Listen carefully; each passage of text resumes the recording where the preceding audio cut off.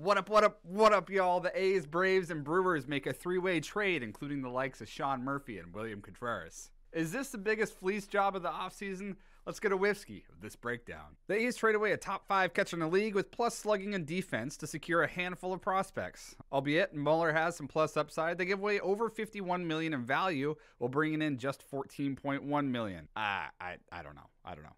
The Braves give up a talented core of prospects plus Contreras, valued at 47.3 million. Needless to say, the Braves get to flex D'Arnaud and Murphy as arguably the best 1-2 catcher DH combos in the league. Worth it. Brewers, why are you here? They give up one player and receive 38 million in value. The Brewers literally just fleeced all of MLB. Brewers get an S plus, Braves an A plus, and Athletics, y'all just just need new ownership.